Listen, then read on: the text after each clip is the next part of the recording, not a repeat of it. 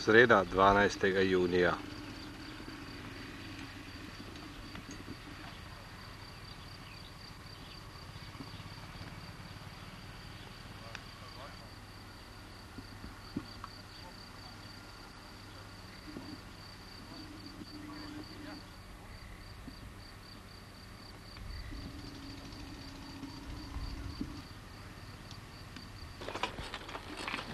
Kaj ne štima, bom jaz probal. Imam še eno drugačno tudi, brez tega uh, z očali, kar vam bolj ustreza.